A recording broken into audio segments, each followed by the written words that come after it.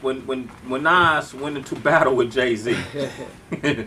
what were you who- at? Whose side was you on? I mean, listen, I mean, you know, Nas is my peoples, you know what I mean? And, and Uh. Jay from Brooklyn, I've been knew Jay. So I knew, you know what I'm saying, they men at the end of the day, and I knew it was going to be all entertainment because they both got paper, you know what I'm saying? So I knew it was just going to be who's the best man that going to be standing, so I let them handle that, you know what I mean?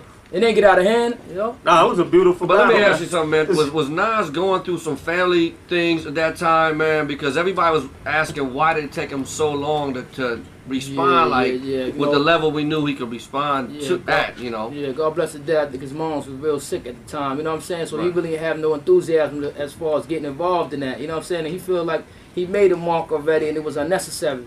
You know what I'm saying? Like he accomplished his goal, but he had to do it for the hood. He had to do it for the for the fans. You know, because this is this is I what they mean, want. did you ever call him and say, "Come on, man, let's let's go, let's go to the studio and knock this out"? I knew he was gonna do it in a sense, it's just as far as working on his own time. So I sat back and, and I knew that was gonna come because he from Queensbridge. They, they like that. They like Right. that rowdiness. You know what Yeah, I'm saying? You gotta bring that to the table. You gotta Yeah. get get out the hood.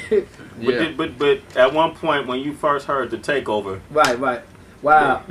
Wow. It was serious. It, it- was shocking. It was shocking everybody, including me. I was like, wow, Jay said, okay, let's take the game over right there. I guess he felt that he was at, at his peak and his paper game was up there and he had all the fans. He was selling a lot of records.